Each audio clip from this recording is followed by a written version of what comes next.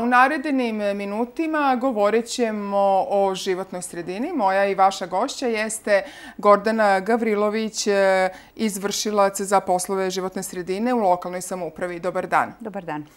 E, proteklih mesec dana, a naročito u posljednjih e, par dana, imali smo, da tako kažem, neviđeni aktivizam od strane građana koji su se udružili i jednostavno odlučili su e, nešto da urade, a to što su odlučili jeste da ne dozvole da se postavljaju mobilne telefonije, odnosno te bazne E, stanice u njihovom okruženju. Pa za početak, e, da li nam e, možete reći koliko se građani javljaju na te javne rasprave koje se organizuju? Pa vidite, kada su nešto posebno zainteresovani, kad je specifična lokacija kao što je posljednja stanica mobilne telefonije na objektu na Paliću, onda je prisutan odziv velikog broja građana. Kao neko ko sprovodi procedure procene uticaja, to mi je posebno zadovoljstvo što su građani toliko angažovani, jer je i cilj e, tih javnih rasprava i prezentacija što veće uključivanje javnosti, dobijanje povratnih informacija od građana, sugestije koje će postaviti, jer jer je činjenica da određena dokumentacija možda ne prepozna ili ne uvažava sve e, specifičnosti nekog lokaliteta, neke stvari koje možda ne poznajemo dovoljno, jer jednostavno jednostavno građani imaju neki e, e, neki sukob ili su zbog nečeg e, kategorični da se nešto ne uradi. Znači, u tom nekom kompromisu, u toj nekoj saradnji, a koja naravno nije u suprotnosti sa zakonskom regulativom, korisno je da smo kroz ove javne prezentacije da izađemo sa nekim zajedničkim stavom i sa odlukom koja će biti u interesu i nas kao donosioca odluka, a naravno i sugrađene. E, Primetbe građana su bile u tome da oni recimo ne znaju kad se održavaju javne rasprave pa rasprave povodom studija o proceni uticaja na životnu sredinu. Jer koliko znamo lokalna samuprava je u obavezi, podsjetite nas gde to da oglasi. Pa ovako reći ću da su građani da građane nisu u pravu. E, generalno zakonska regulativa iz oblasti životne sredine mislim da je najdemokratičnija što se tog dela pozivanja i obaveštavanja javnosti o svim delovima i svim postupcima u procesima koji se tiču životne sredine su javni i transparentni. E, ono što je posebno zanimljivo je zakon o proceni uticaja koji nas kao donosioce odluge obavezuje da u svakoj fazi procesa do donošenja saglasnosti na procenu uticaja po nekom određenom projektu obavestimo javnost putem sredstava informisanja, odnosno e, na, na jezicima koji su u službenoj upotrebi na teritoriji grada. Obzirom da je po našem statutu zvanično jezici srpski, hrvatski i mađarski, mi u skladu sa tim u sredstvima informisanja na srpskom, hrvatskom i mađarskom oglašavamo svaku fazu postupka procene uticaja na životnu sredinu. E, ta, ta informacija dostupna je pored sredstava informisanja na našem sajtu, sajtu e, zaštita životne sredine na i oglasi, tako da je kada god se je javna rasprava, ono što je najzanimljivije u stvari u tom procesu, je e, svaki put sigurna u svim sredstvima, dostupna građanima u sredstvima informisanja i na našem sajtu u tom postupku procene građani imaju mogućnost da dođu, gde to stoji u tekstu obaveštenja, da dođu u kancelariju, da pogledaju kompletnu dokumentaciju, da daju pismene primetbe ili čak samo da pročitaju, pa da te pismene primetbe zatraže u toku javne prezentacije od izrađivača studije, od nosioca projekta. Dakle, maksimalno je je e, dostupna, omogućena komunikacija između građana i predstavnika donosioca odluka ili nas kao nadležnih organizacija organa. E, mesne zajednice, e, isto kada sam pitala da li oni komuniciraju sa lokalnom samoupravom, E, rečeno je da oni imaju zaposlena lica, ali ona nisu obavezna da gledaju vaš sajt. Pa e, ja sam tu prosto nemoćna. Dakle, mi smo već kroz nekoliko prezentacija koje se tiču druge planske dokumentacije, gde smo također imali primetbe od sugrađena, rekli dajte vi predlog. Dakle, mi se trudimo da ispoštujemo zakon na kraju, što je naša obaveza.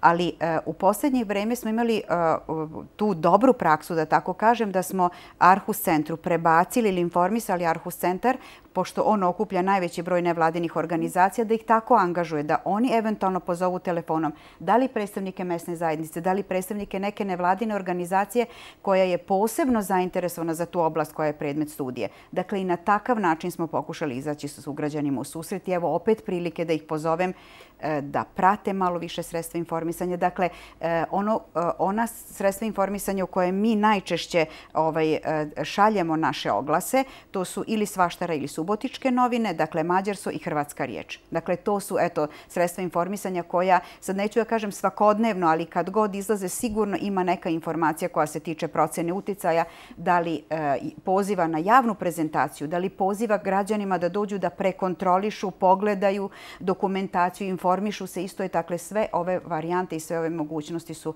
na raspolaganju sugrađanima.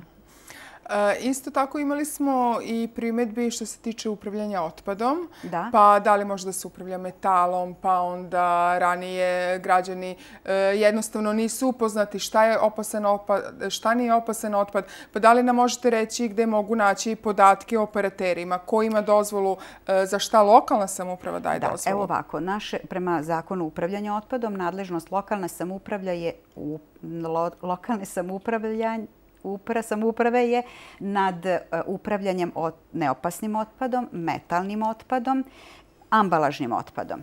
E, ono što, se, što su dozvole za upravljanje opasnim otpadom, to je isključivo u nadležnosti mhm. pokrajine, odnosno ministarstva. E, mi smo također u obavezi da sve e, dozvole koje e, za koje smo mi nadležni oglasimo u kompletnosti. Dakle, e, propisan je čak sadržaj dozvole kako ona treba da izgleda. Ona je zaista zahtevna u smislu sadržaja i sve elemente postupka upravljanja otpadom opisuje. Na, opet na našem sajtu Životna sredina, E, deo koji se odnosi na otpad, dakle tamo se mogu pronaći sve dozvole koje su od 2011. do danas izdate e, operaterima za upravljanje otpadom. E, Sajt ministarstva, odnosno Agencije za zaštitu životne sredine što se tiče e, države. mogu, Tamo na tom sajtu se mogu naći i ostale dozvole operatera koji su i sa teritorije grada dobili, ali koje su u nadležnosti pokrajine, odnosno ministarstva. A šta je sa neionizujućim zračenjem? Pošto je to, to je vrsta, problem. Da, da, to je uh, zakon kojim se uh, uređuje neionizujuće mm zračenje, ali nama je posebno on interesantan obzirom da su tu u pitanju stanice mobilne telefonije, koje su sad u zadnje vreme veoma, veoma ovaj, zanimljive za sugrađene pogotovo, kažem, ova sad zadnja, mada i Palić 3 i Ker i Kireška ulica, dakle sve su to stanice mobilne telefonije koji su posljednjih mjesec dana podgrejale malo ovaj, sugrađane i koji su izuzetno aktivni što se tiče ovih stanica mobilne telefonije. Ono što je mali, mali problem kod ovog zakona, ako se to može reći e, problem, to je e, neusaglašenost zakona o planiranju izgradnji i zakona o neionizujućem zračenju. Vidite, kad je, kad je neki, neki objekat u pitanju i kada se za taj objekat izdaje e, po proceduri zakona o planiranju građevinska lokacijska dozvola i prijavljuje se izvođenje radova, onda ta, taj postupak ima neku svoju proceduru i onda je uvek zakon, odnosno lokacijska dozvola, taj dokument koji se na neki način može kontrolisati, a koji je, ukoliko je neki veći objekat, nama ulazna osnova ili ulazni podatak što se tiče procena uticaja. Mobilna telefonija je specifična i mobilna telefonija je uređena zakonom o planiranju i izgradnji tako da je to u stvari posebna vrsta objekata koji se instalira na postojeće zgrade na, na stubove i za njih nije potrebno sprovesti ovu proceduru. Tako da je dokument procene uticaja u stvari jedini dokument koji je validan u smislu, e, e, u smislu e, procene mogućih negativnih uticaja na zdravlje ljudi i životnu sredinu i jedini dokument koji kojim se na neki način dozvoljava izvođenje ili instaliranje ovih stanica mobilne telefonije. I tu malo ovaj, donekle dolazi do, uslovno rečeno, problema.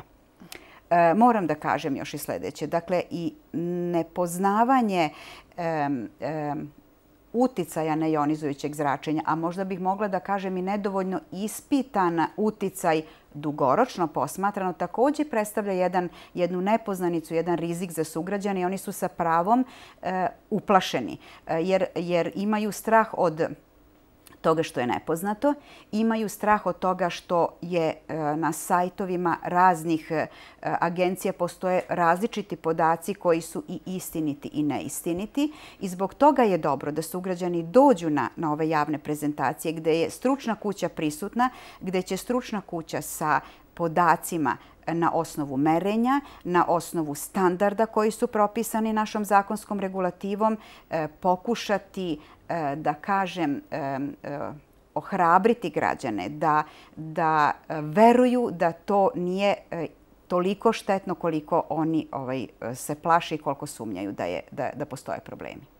Pa evo imam ja jedan predlog, možda biste mogli kao što odeljenje za građevinarstvo kad god je javni uvid, kad počinje, pošalju znači taj tekst oglasa našoj redakciji, mi to uvek objavimo, pa ako vi imate za javne prezentacije ili procjene studije, možete nam poslati, mi ćemo sigurno objaviti, pa možda građani se to tako informišu, jer sad sve su to neke društvene mreže, internet, ljudi sve manje gledaju e, televiziju. U svakom slučaju, hvala što ste bili gost e, emisije Jako popodne. Hvala i vama.